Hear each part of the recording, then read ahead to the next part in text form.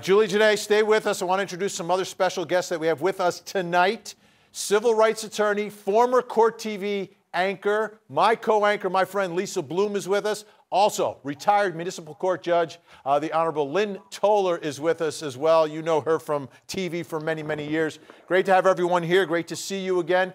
Uh, Lisa, what do you think of the defense taking what I always thought were the worst part of their case, these bystanders who were witnessing all of this, and trying to turn that into the explanation for the actions of Derek Chauvin.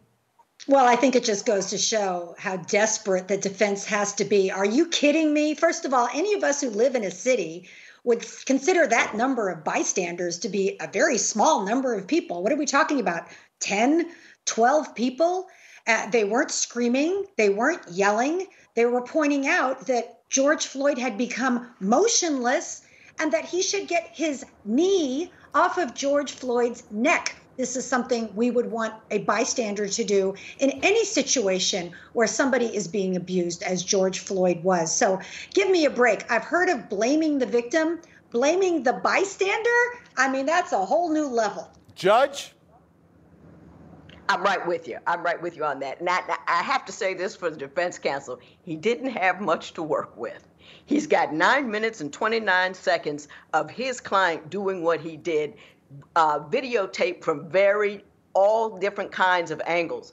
But the absurdity of the argument is to say that he was distracted by people pointing to the thing he says he was distracted from. Do you know what I mean? It's like saying, I didn't see the apple because everybody was telling me there's an apple and pointing to it. It just it's just an absurd argument. Okay, so you know during the opening statement for prosecutors, uh, Jerry Blackwell uh, talked about the bystander, and there was one moment that really uh, stuck out to me involving Chauvin and and some mace. And let's take a listen first, and then we'll take a look at it. A member of the Minneapolis uh, Fire Department who was trained in administering first aid and emergency care. She's going to come and talk with you. Her name is Genevieve Hansen. She wanted to check his pulse. She wanted to check on Mr. Floyd's well being. She wanted him to let up and get up. She did her best to intervene, to be able to act, to intercede on George Floyd's behalf, and you'll be able to see for yourself when she approached Mr. Chauvin on top of George Floyd with both of his knees, reached for his mace in his belt and pointed in her direction. So she couldn't help. She'll come and talk with you about that experience. All right, Julie Jenae, let's take a look at that video. This is the bystander cell video of, of Chauvin uh, going for that mace. And as we take a look, I mean, to me, this is a, a big deal. I mean, because this was one of the bystanders who was approaching and I guess when she sees the mace, she backs up at that time?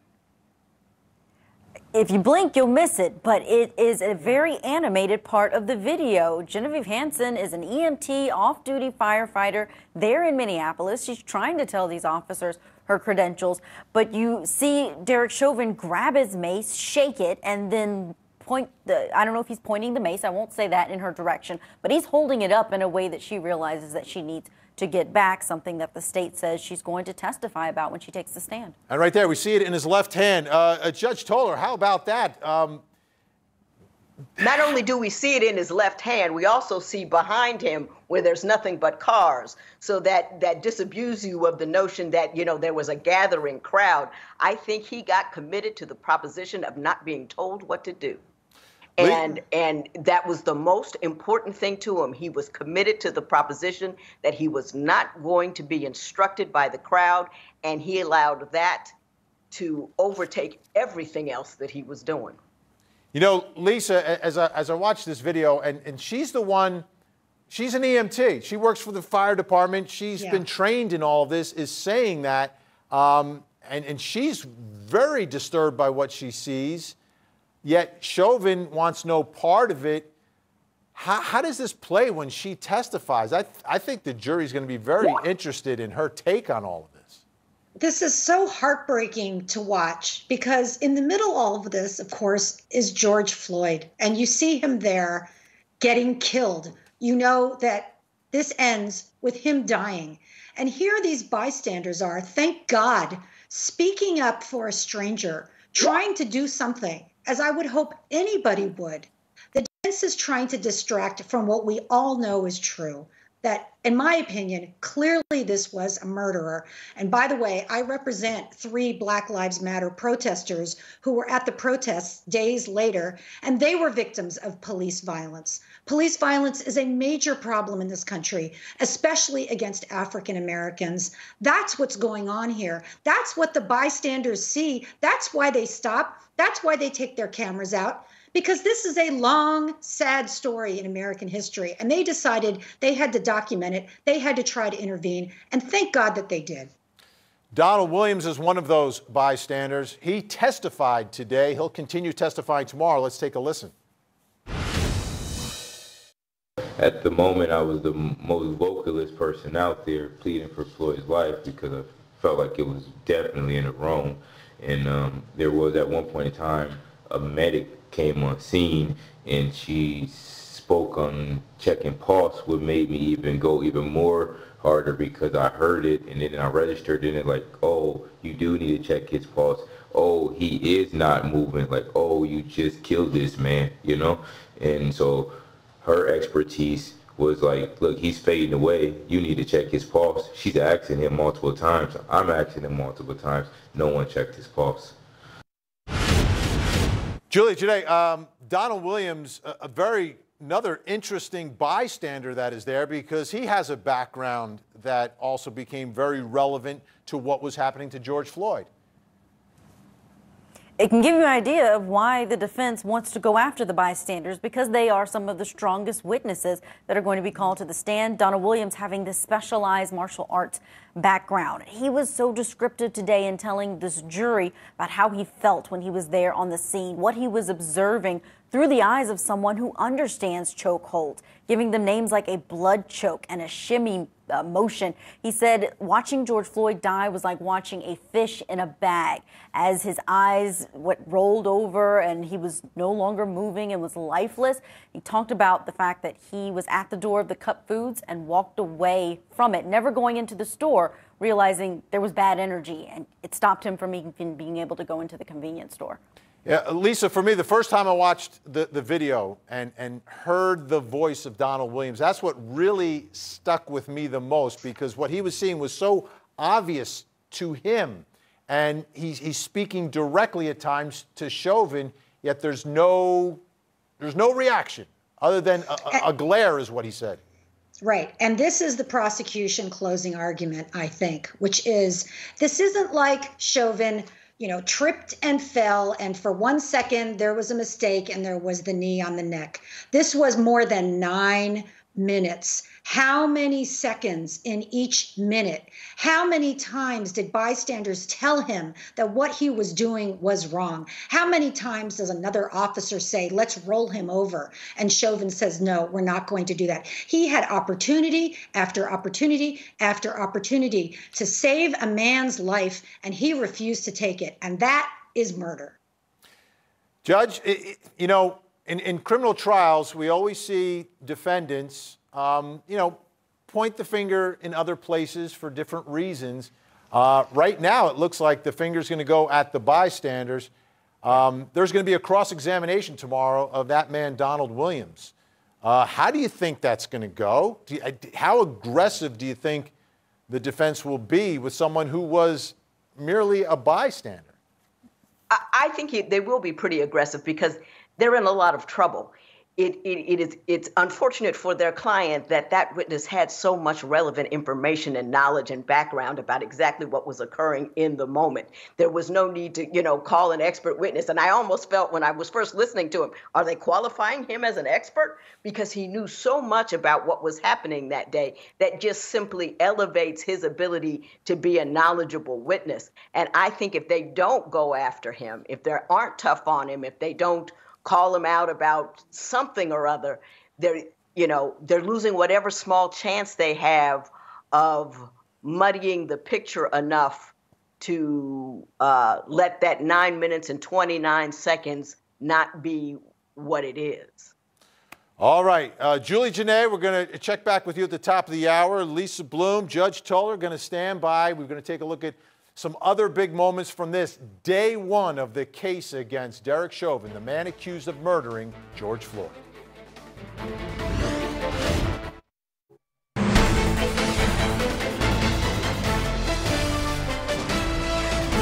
Uh, Mr. Chauvin continues on as he had knee on the neck, knee on the back. You will see he does not let up and he does not get up.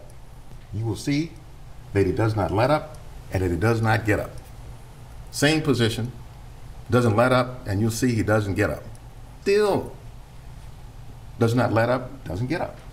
You're going to hear and see that there were any number of bystanders who were there who were also calling out to let up and get up.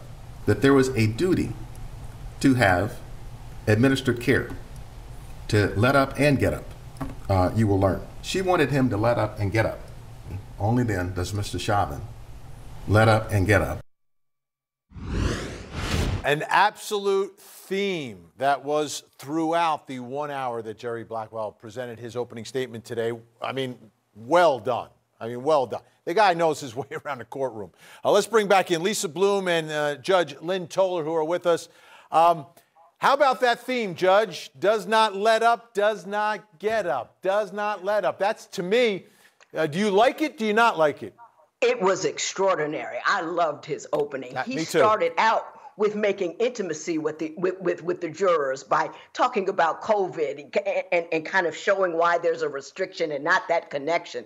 And then he begins by saying he was at odds with the code of a police officer, not putting it between people versus the police or blue lives and black lives. He he he he phrased it so well, and it was like everything was a verse for these minutes and he didn't let up or get up. And then he did those for these minutes. He didn't let up or get up. And then he pulls out the part about uh, the duty of care that was not met. I mean, it was an extraordinary opening. And I know some people say that it wasn't passionate enough, but if you're that good and you're that tight and you do it so well, I don't think you need a whole lot of movement and action with it because that was a spectacular open. Well, I, I agree with you. I, I, absolutely agree with you. And, and you know, th- that little refrain is something that I'm sure we're going to hear in the closing, and, and, and the jurors may take that into the jury room with them. Uh, Lisa Bloom, I want to play for you the way uh, prosecutors opened this whole thing by, by elevating uh, uh Chauvin and, and what his duty was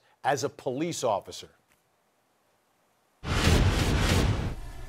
You're going to learn in this case a lot about what it means to be a public servant and to have the honor of wearing this badge. It's a small badge that carries with it a large responsibility and a large accountability to the public. What does it stand for? It represents the very motto of the Minneapolis Police Department to protect with courage, to serve with compassion, but it also represents the essence of the Minneapolis Police Department approach to the use of force against its citizens when appropriate. The sanctity, a sanctity of life and the protection of the public shall be the cornerstones of the Minneapolis Police Department's use of force. Symbol of public faith, ethics to police service, sanctity of life, all of this matters tremendously to this case because you will learn that on May 25th of 2020, Mr. Derek Chauvin betrayed this badge when he used excessive and unreasonable force upon the body of Mr. George Floyd. Lisa Bloom, I saw you nodding your head as you were watching all that. Uh, to me, the amazing part of it is, is, is this is a case against a police officer, and he's elevating the status of officers, but also their duty at the same time.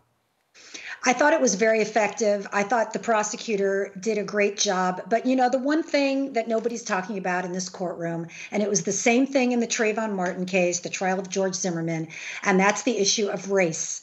Race permeates this case, but nobody wants to talk about it. There's no question in my mind that Mr. Chauvin put his knee on George Floyd's neck and held it there for more than nine minutes because he had certain perceptions about George Floyd on account of his race. George Floyd was perceived by him to be. Isn't that a little dangerous, though, really Lisa? Was. Can't that be a little dangerous? Because you then you're going to say that you got to prove it. Well, I'll tell you why. Because the studies are overwhelming that especially large African American men are perceived to be hostile and threatening when they're not. And George Floyd. Well, you're not going to have that evidence, are you? You're not going to have that evidence. What was he accused Of, Vinnie? He was accused of passing a fake $20 bill, a nonviolent crime. We don't see any violence on his part. What is the justification for a knee on his neck? Do you think that would have happened to a white guy? Why is there so much police violence against African Americans? It's because of these false perceptions of criminality and aggressiveness. And this case is the perfect example. Why did it ignite the it's nation? It's an example, but you can't say that in your opening judge. I need a ruling by the judge here, Lisa. Judge, can you can you put that in your opening statement? Because your opening statement, no, you got to put what you're going to prove. yeah, I think it would be a mistake. His job is to prove that Chauvin did what he did. And I think that the when you raise the issue of race, and I think everything she said is true. I've got six black sons. They've all had negative experiences with the police unprovoked. I, I, and I get mm-hmm. all of that. But his job is to convict this guy. And if you mm-hmm. start making it just about a racial issue, you better have good evidence of it that you can prove. You can't just throw it out there and not prove it. And then you don't want to bring in the static that that occurs in the jury room when you have enough without it. So why raise something that you can't easily demonstrate and and and and potentially harm your case, even though it's true? We all know it's right. true. And, but we listen, want I, Derek to go to jail. We do. And I think it's it's like the toxic third rail that you got to be careful when you touch right. it and you do have to prove it. But why else why else was that knee on George Floyd's neck for nine minutes? Why did he think he was so threatening, even for, I think, four minutes after George Floyd stopped moving? It's because of his perceptions about George Floyd as a black man. And I have no doubt about that. I think the entire country agrees with me, which is why we all took to the streets afterwards. All right. I want to get to Eric Nelson's opening statement, which was um, slightly different in style, but there was one major point that he made that's going to be the foundation of the defense. And I think uh, the biggest problem for prosecutors. Let's take a listen. The re- results of Mr. Floyd's toxicology screen revealed the presence of fentanyl and methamphetamine, among other things. And it will be important to know the difference between fentanyl and methamphetamine. The autopsy revealed many other issues, including coronary disease, an enlarged heart, what's called a paraganglioma, which is a tumor that secretes adrenaline, swelling or edema of the lungs. And the state was not satisfied with Dr. Baker's work. And so they have contracted with numerous physicians to contradict Dr. Baker's findings. This will ultimately be another significant battle in this trial. What was Mr. Floyd's actual cause of death? The evidence will show that Mr. Floyd died of a cardiac arrhythmia that occurred as a result of hypertension, his coronary disease, the ingestion of methamphetamine and fentanyl, and the adrenaline throwing, flowing through his body, all of which acted to further compromise an already compromised heart. All right, cause of death is an element of all three crimes that Derek Chauvin has been accused of. They've got to prove it beyond any and all reasonable doubt. And uh, Lisa Bloom, the state here has contracted with other experts. The medical examiner from Hennepin County, not a home run. There are some things that he said that uh, could raise a reasonable doubt in and of themselves including a statement that if he didn't have any other information and was just going by the autopsy, he would have ruled this an overdose. That oh, would be a, re- a break. That's this Dr. Baker same, for the state. This was the same thing we saw with Eric Garner in New York, another large African American man killed by police. And they said the defense was, oh, well, there were other factors. I mean, you mean to tell me that the knee on the neck was not the cause of George Floyd's death, that just coincidentally, all of his other medical conditions that he's lived with his entire life into his 40s, coincidentally, right at that moment, that's when they choose to kick in and kill him. I think it's preposterous. I think it's an insult to our intelligence. Well, they're, they're going to present evidence as well, Judge, of uh, they're going to say George Floyd was ingesting speedballs, which is methamphetamine and fentanyl combined. They say they've got a, one of those pills with his DNA on it that was found uh, partially uh, chewed in the back of the cruiser. Uh, they're going to show a video of a little white dot on his tongue. They're going to bring in the 2019 arrest where he's ingesting drugs as police approach. Uh, is this a viable, reasonable alternative? They don't have to prove it beyond a reasonable doubt. They just have to raise a reasonable doubt. I think that's their best strategy going forward. That said, they are trying to uh, couch it in terms of the crack epidemic. You know, blacks, the cracked up, hyped up big black guy, as opposed to the the the opioid crisis that is now decimating uh, a whole a whole portions of the United States of America. So that, that that's trying to buy into that notion but I, you know, uh, he was not going to live to be 95, but he didn't have to die that day. And the reason that he died that day is because of what happened to him there on the street. And you take your victims as they come. You know what I mean? You shouldn't have to be built like a Marine to survive a non threatening police encounter. All right, the final uh, big contrast in the opening statements today is you have a prosecution team of 14 attorneys. Three of them will be uh, speaking at different times to this jury, but they had a very well polished PowerPoints, pictures, videos, timelines, incredible graphics. It's like they hired the Court TV graphics department to help with this opening statement. Whereas Eric Nelson, he's kind of like Columbo. He just shows up by himself. He's got one helper in the back, but he's going to be the only voice. As we look side by side at the uh, uh, two uh, different styles that were presented today, uh, what do you think's better in front of a, a, a, jury, Judge? The, the, the polish, the PowerPoints, the bells and whistles, or just a guy who shows up to tell you a story? You know, he had a power, the prosecutor had a PowerPoint, he had bells and whistles but he also just showed up and told a story as well. He did everything the defense did and then some. He didn't rely solely on that. If you didn't see that PowerPoint, if you just heard his words, they were nonetheless compelling and convincing. So it's not one versus the other. He's just got stuff in addition to his ability to tell a good story because he already has. All right. And Go ahead, Lisa. We have like 15 I, seconds. I was just going to say, yeah. So, Vinnie, you know, in my law firm, we represent the underdogs, and it's always one or two of us against a cast of thousands of attorneys on the other side. Juries don't like that. They relate more to the underdog, one or two attorneys. That's all you should have in the courtroom. Uh, I can't believe Lisa Bloom is ever an underdog. Anyway, uh, Lisa Bloom, great to see you again. Judge Toler, great to see you, you again as well. Great to see you. Appreciate Hi, Judge. you. Good to see you. Please come back. Please come Lisa. back and, and help us uh, uh, through this trial uh, together. We appreciate it. All right, folks, uh, still ahead.